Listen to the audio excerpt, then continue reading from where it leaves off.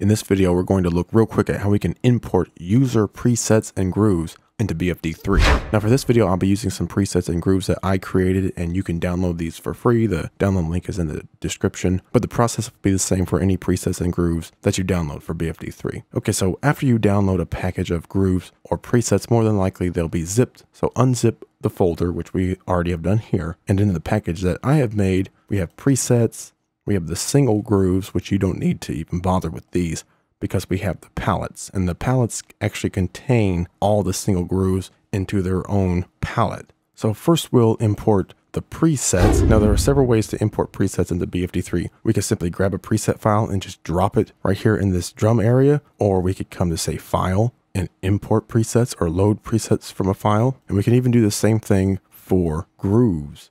Come back here to our grooves, either single grooves or even palette files. I could just grab a palette and just drop it right here. That would load the whole palette for me, but I'm not going to do that. Also, we could come over to file again and load grooves from file. All right, so that's a couple options. Now, the way we're going to do it is, in my opinion, it's easier, and I'm not going to tell you how to import your user presets, but those are some ways. This is the way that I would personally do it. Now, I'm on Windows, so this might be a bit different from Mac, but come to your documents, folder and then to your FXpansion folder, come down to BFD3 and then come down to your presets. And all we're simply going to do is come to our presets folder here and I'll just grab the presets that I downloaded, grab them and drop them right into my BFD3 presets folder. Real easy. And we can do the same exact thing for the grooves. So come back to our BFD3 folder, up here to grooves. I'll just grab our palettes. You could even make a folder if you want, if you want to call the folder Oblivion X or whatever you want to call it but we'll just grab them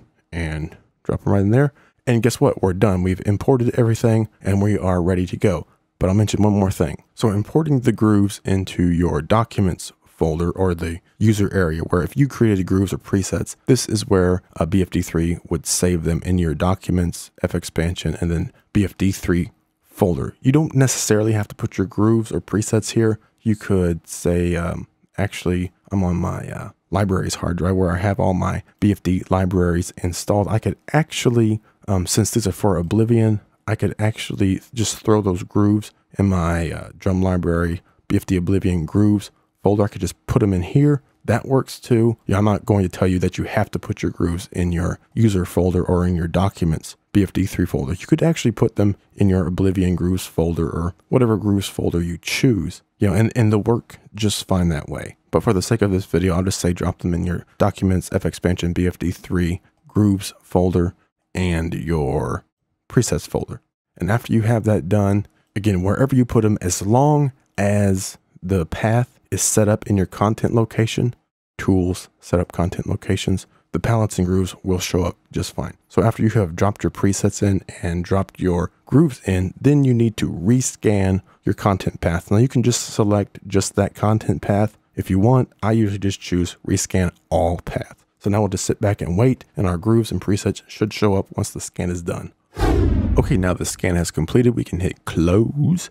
And right here, we can instantly see right there's the Benoni Oblivion X, the Benoni Oblivion X2 kits. Come over to our grooves. We can come over to the author filter and click on the Benoni Studios because that's the author name I put in those files. If somebody didn't put an author name on the files, it will show up as unknown. Makes it a little harder to find. So if you're creating grooves, definitely go ahead and put in an author name if you're planning on sharing them. Much easier to find that way. So we'll click on the Benoni Studios and right there is the four palettes that we imported, a total of 221 grooves, I believe. That's a real easy way to import presets and grooves into BFD3. Just drop them in the correct folders and rescan your content path and boom, they'll just show right up. So there you go. Be sure to visit the fxpansion.com forums. There's a bunch of presets there that you can download for free. And of course, you can download the presets and grooves that we showed here in this video for free. Links are in the description.